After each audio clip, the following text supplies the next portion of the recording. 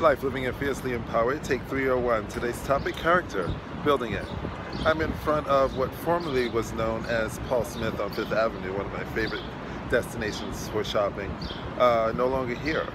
And uh, this is very disconcerting.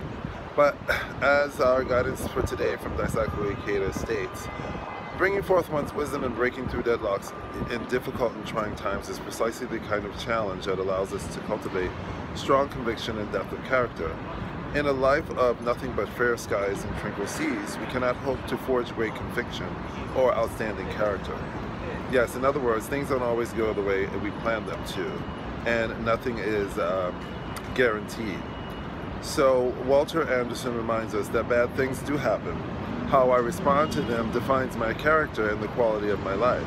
I can choose to sit in perpetual sadness, immobilized by the gravity of my loss, i.e. Paul Smith, or I can choose to rise from the pain and treasure the most precious gift I have, life itself. And I leave you with the words and the wonderful thought of Paul Bryant. Show class, have pride, and display character. If you do, winning takes care of itself life, living it fiercely empowered.